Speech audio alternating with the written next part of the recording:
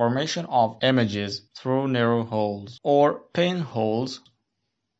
The idea of photographic camera is based on the idea of formation of images through narrow holes due to traveling of light in straight lines.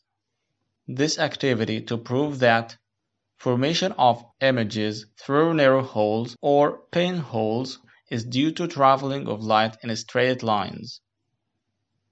Steps Remove one side of a carton box and replace it with a piece of a semi-transparent paper. Make a small hole in the opposite side of the semi-transparent paper. Darken the room, then put a lighted candle in front of the hole at a certain distance and look at the semi-transparent paper. Move the candle forward or backward until you see a clear picture of the candle flame on the semi-transparent paper.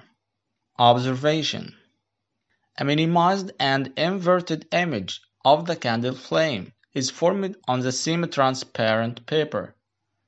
Conclusion Formation of images through narrow holes or pinholes is due to traveling of light in straight lines.